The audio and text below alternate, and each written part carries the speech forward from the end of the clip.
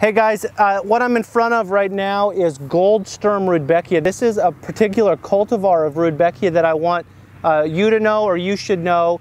Uh, Rudbeckia fulgida variety is sullivantii cultivar Goldsturm. And what does Goldsturm mean? It's German for storm of gold or golden storm.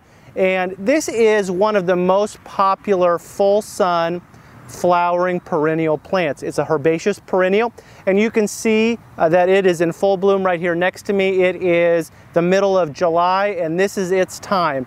Uh, one of the most classical perennial pairings is this with purple coneflower, the echinacea, and we see that quite a bit in landscape design. Uh, but this is really a prairie type plant but does very well in a variety of conditions in the home landscape, especially if you put it in full sun. It's got big bold foliage as well uh, that is hidden behind these blooms and it blooms nonstop uh, from really high summer, early summer, all the way until frost. You'll be able to find a, a few blooms right as the season wraps up.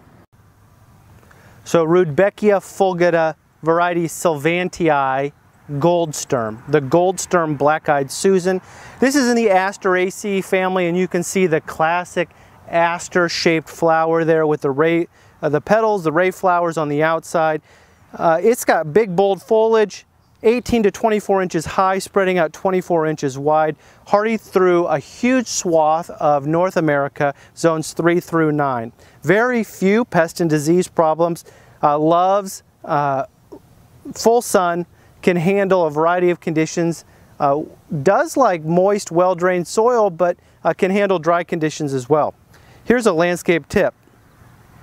This cultivar is most commonly used, more compact and free flowering, excellent choice for low maintenance and long-lived color.